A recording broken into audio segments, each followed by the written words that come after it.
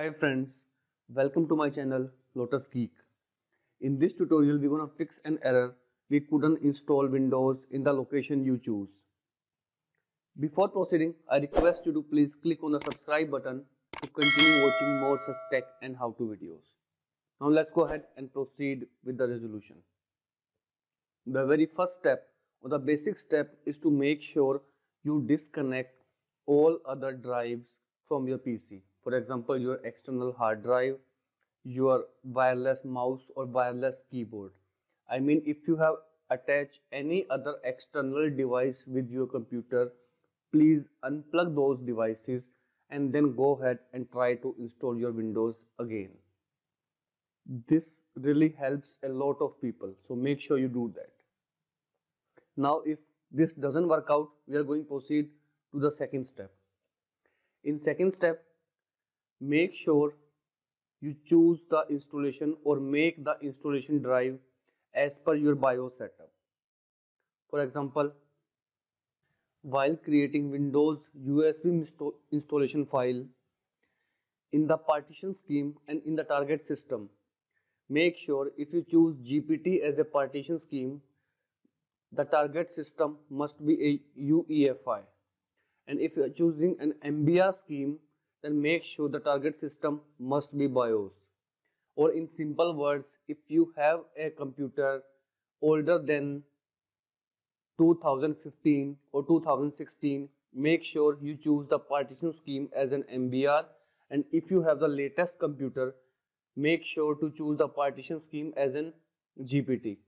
If you do not have this tool, I'll provide the link of this tool also in the description below so that you can download and make a new installation media using this Rufus tool. Once created the media, go ahead and install Windows using this software. Now go ahead and install Windows again. Choose the drive where you want to install Windows and then click on the next button to proceed. If still you face the problem over here, then we are going to proceed with the third step. In third step, we are going to recreate all your partitions. So make sure you back up your data. If there is any data in your system, that data will be completely erased. So now in third step, select your disk and click on delete button. Hit the OK button to delete the partition of your system. Once deleted, now choose the unallocated space and click on the new option.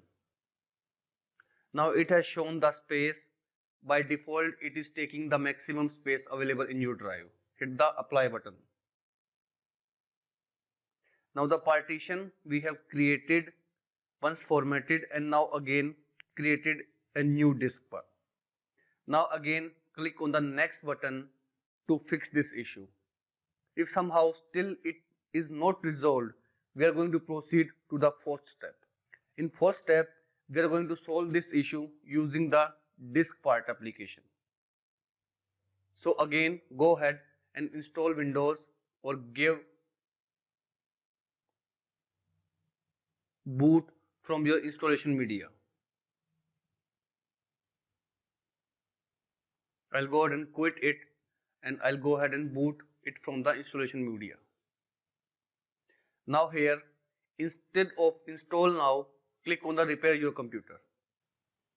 Now click on troubleshoot and click on command prompt.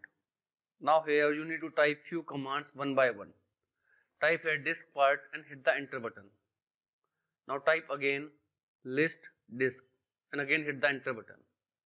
Now select the disk as select disk 0 because disk 0 is the available disk we have.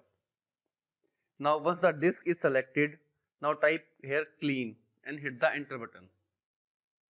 Now we have successfully cleaned the disk. Now go ahead and type exit and close the command prompt. Now go ahead and again restart and try to install your Windows in your system. Now we are going to install the Windows again in your system.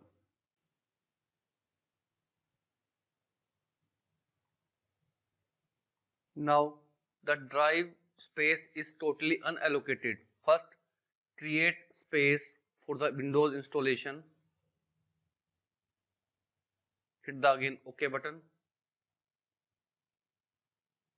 Now once the space is created, now go ahead and click on the next button. This time your Windows installation will be proceed successfully. If somehow you still face any kind of issue, kindly comment below and I'll provide you more ways for the resolution. So that's it about it friends. If you like my video, I request you to please click on the subscribe button and share my channel with your friends also. Thank you friends. Thank you for watching.